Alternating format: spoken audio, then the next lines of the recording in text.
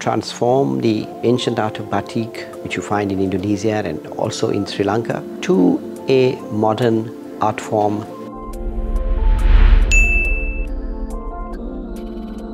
I'm really mad. These were the exact words the legendary Ena De Silva used to describe herself in an interview a few years ago. She is known for building an empire out of a dying traditional art in Sri Lanka and rejuvenating Sri Lanka's batik and embroidery industries. Ena De Silva transformed the way in which textiles and batik especially amplified how we experience architecture. Today, batik and embroidery are at the forefront of Sri Lankan high fashion and art. So it might take you by surprise to find out that this art was almost lost in history. This was when Ena De Silva swooped in with the support of her select circle of artistic friends and local artisans to create a blueprint for these once dormant industries. In an interview back in 2011, Ena admitted that she was inspired to experiment with colors and designs because of her children who were scribble maniacs. In the late 1960s, after uncovering her creativity, Ena and her friends searched for batik on Britannica's encyclopedia and learnt how to perfect its art. Where we had a great tradition of embroidery, uh, by the middle of the 20th century, it was fading away.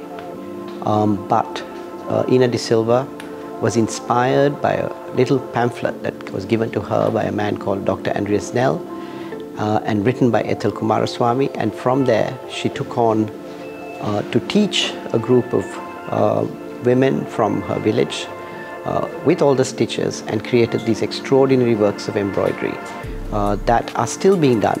At the time, people thought this venture was destined to fail, but it didn't, and well, the rest is history.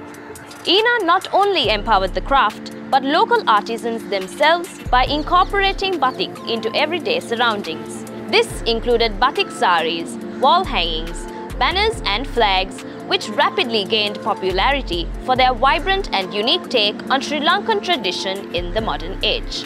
Whatever Ena did, she did fantasy in a brilliant way. Ena also worked closely with architectural mastermind Geoffrey Bawa after commissioning him to build a home in Colombo.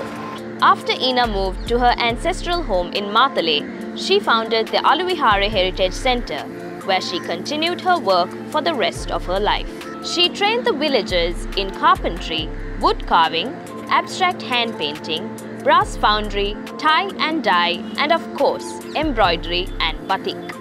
Along the way, she forged close bonds with her mostly female employed staff and even gave them the financial independence they didn't have before.